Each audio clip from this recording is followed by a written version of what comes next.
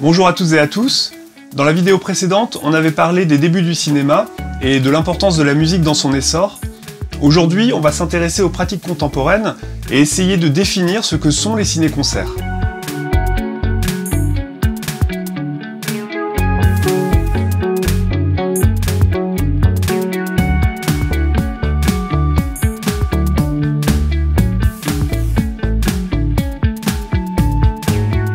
De manière générale, on peut dire qu'un ciné-concert, c'est une représentation dans laquelle un film est diffusé sur écran, accompagné par des musiciens ou des musiciennes qui interprètent cette musique en direct. Alors pour les besoins de cette vidéo, je vais commencer par distinguer deux grandes catégories. La première, qu'on appellera ciné-concert de patrimoine, vise à reproduire ce qui se passait dans les salles obscures il y a un siècle. Ces propositions font souvent la part belle à l'improvisation, c'est pour ça que, par extension, je classerai par exemple les improvisations de formation de jazz dans cette catégorie. Alors de la même façon, les formations orchestrales qui interprètent les musiques originales, euh, que ce soit de films muets ou sonores, seront également classées dans cette catégorie.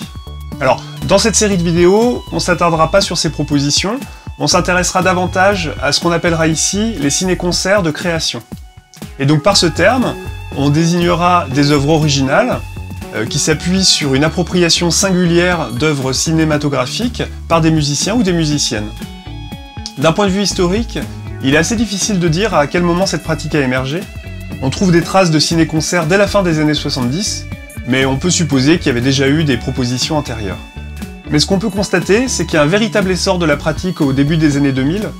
Ah, on voit qu'en une décennie, on passe d'une forme totalement méconnue à une appellation qui est comprise par le grand public. Alors je me souviens qu'en 2002, euh, il fallait que j'explique presque systématiquement en quoi consistait un ciné-concert, alors qu'aujourd'hui, quand j'évoque la chose, on ne me pose plus vraiment de questions. Je me suis interrogé sur l'émergence de cette discipline à cette période, et j'ai dégagé quelques hypothèses qui pourraient peut-être l'expliquer. Alors c'est pas un travail universitaire, j'ai fait quelques recherches et il y a finalement assez peu de littérature sur le sujet, donc euh, évidemment tout ce que je vais dire ici est totalement sujet à débat. Alors ce que j'ai noté en premier lieu, c'est que euh, c'est vraiment à cette période que le secteur dit des musiques actuelles s'empare réellement du ciné-concert. Alors c'est un secteur qui est quand même relativement habitué aux conditions précaires. On peut penser par exemple à l'économie des cafés-concerts. Donc euh, pour eux, il n'y a rien d'incompatible à proposer des ciné-concerts dans des salles de 150 places. Donc évidemment, bah, ça facilite et la production et la diffusion. Alors ce que j'ai constaté aussi, c'est que ça coïncide avec l'arrivée de musiciens qui utilisent des ordinateurs sur scène pour de la musique qui n'est pas nécessairement de la musique à danser.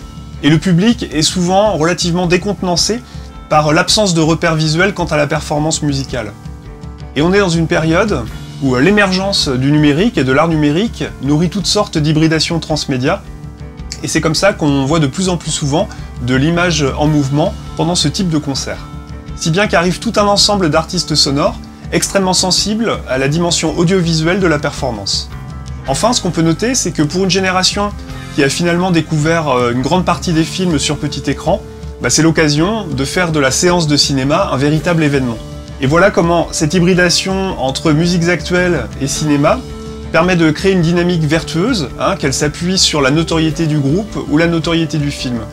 On retrouve finalement un petit peu un fonctionnement qui peut faire penser au benchi au Japon, euh, comme on l'avait évoqué dans la vidéo précédente.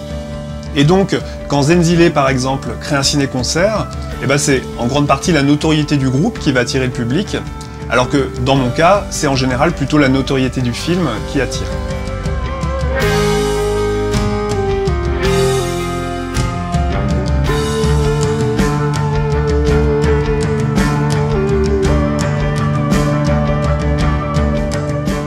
Maintenant, on va s'intéresser aux spécificités du ciné-concert.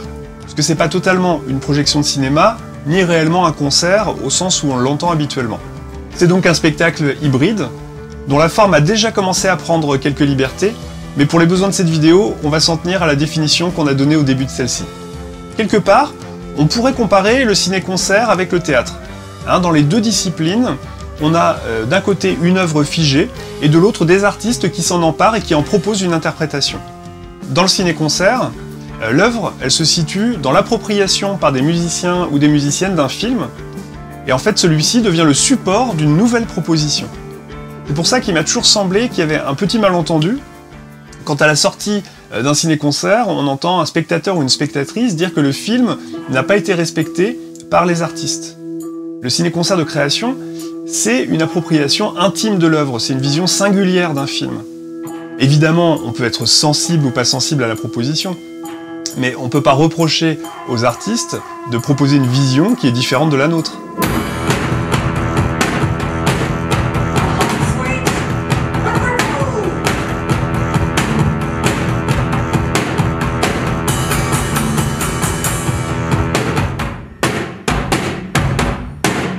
Alors du côté des artistes, cette forme amène évidemment toute une série de contraintes avec lesquelles il faut composer. Hein, dans un premier temps, évidemment, il faut connaître sur le bout des doigts le film auquel ils vont se confronter, puisque celui-ci est inaltérable. La durée et la dramaturgie sont fixes, donc euh, ça laisse pas trop de place au doute ou à un accident lors de la représentation. Hein, euh, lors d'un concert classique, le public accepte assez facilement un accident, comme, euh, je sais pas moi, une corde de guitare cassée, hein, et puis c'est l'occasion éventuellement d'un échange avec lui, ça crée de la spontanéité, et puis c'est ce qui donne un petit peu le sel du spectacle vivant. Dans le cadre du ciné-concert, par contre, bah, le film n'attend pas. Donc les artistes doivent imaginer toutes sortes de stratégies pour pouvoir se tirer d'un mauvais pas. La durée et la structure de la représentation vont être guidées davantage évidemment par le film que par les réactions du public. Hein, les musiciens et musiciennes vont être totalement concentrés sur les images, et c'est ça qui vont guider les actions et réactions des artistes, plus que l'ambiance dans la salle. On a donc un double mouvement entre cinéma et musique, Hein, les musiciens et musiciennes profitent euh, d'une certaine marge de liberté euh, pendant la phase de création, et lors de la représentation, au contraire, ils sont euh, contraints par la structure du film. Et à mon sens, c'est ce double mouvement qui crée tout l'intérêt et toute la singularité de cette discipline.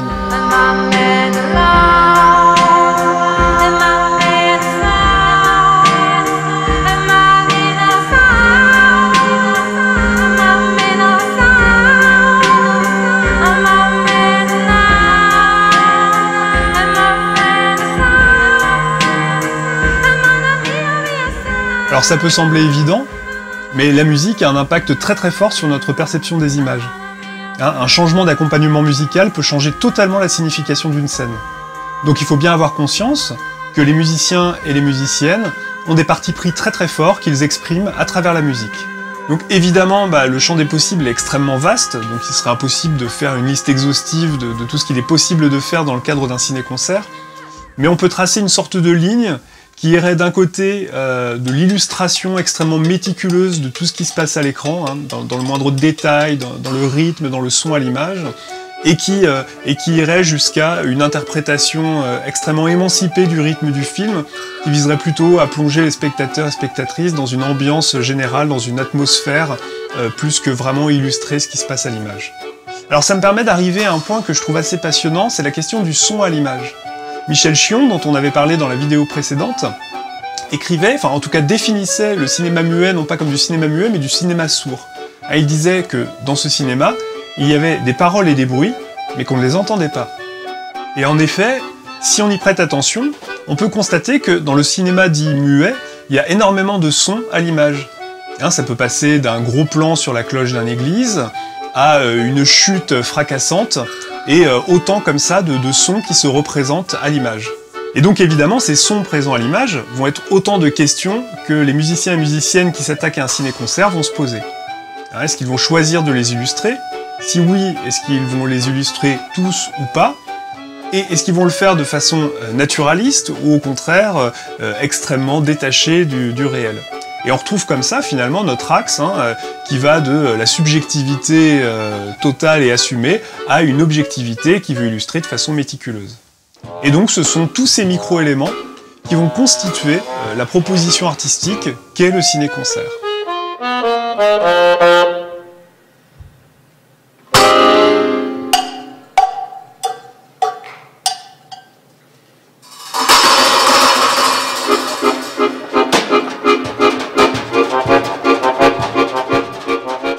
À chaque fois, j'en profite pour euh, glisser une petite anecdote personnelle.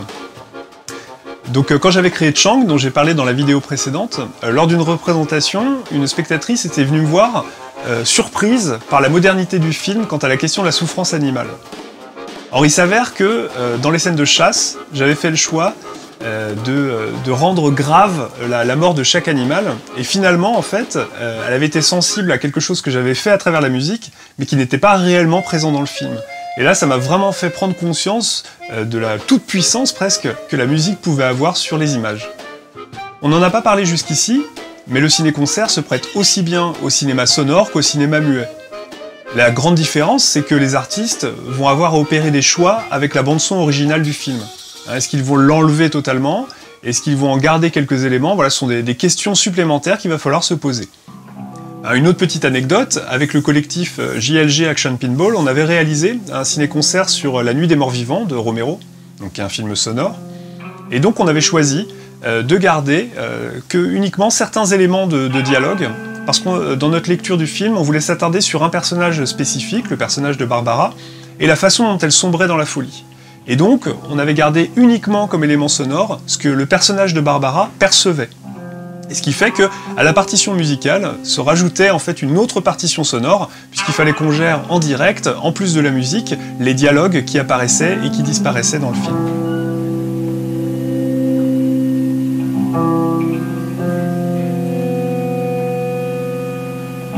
donc en définitive, eh ben, le cinéma sonore demande une approche un tout petit peu différente par rapport au cinéma muet, mais évidemment tout aussi passionnante. Le dernier point que je voulais aborder dans cette vidéo, c'est la question de la performance. Hein, on a certains ciné-concerts qui vont mettre l'emphase sur la performance des musiciens, et d'autres au contraire qui vont privilégier euh, le confort de visionnage du film. Et nos habitudes des salles obscures nous font parfois oublier ce qui est en train de se jouer sur scène. Hein, le ciné-concert, il faut vraiment l'envisager comme une sorte de duel entre un film euh, qui est figé, qui avance de façon inexorable, et les artistes qui doivent garder une concentration de tous les instants. Le ciné-concert, c'est pas de la musique de film, hein, c'est vraiment pensé pour le live, c'est un spectacle. Et des fois, la position de retrait des musiciens et musiciennes sur scène nous fait un petit peu oublier tout ce qui se joue euh, sur, le, plateau. Hein, puisque euh, s'ils gagnent de l'énergie en jeu de scène, cette énergie, elle est déployée euh, elle est utilisée dans la tension et dans la concentration nécessaire à cette traversée du début jusqu'à la fin du film. Alors évidemment, je veux pas dire par là qu'il faut regarder euh, les musiciens et les musiciennes et oublier le film. Hein, un ciné-concert immersif, à mon sens, il n'y a rien de plus plaisant. Là, je parle de façon personnelle. Mais en tout cas, euh, à l'issue de la représentation, rappelez-vous bien que ces émotions que vous avez ressenties, eh ben, il y a des chances que les artistes qui étaient sur scène les aient ressenties de façon encore plus intense.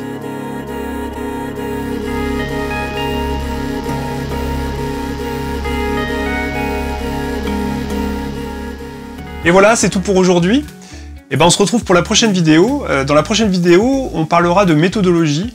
Euh, je vous présenterai ma façon d'aborder un ciné-concert. Et euh, j'aurai pour cet épisode un invité qui lui aussi vous présentera la façon dont il aborde cet exercice. Donc je vous dis à la prochaine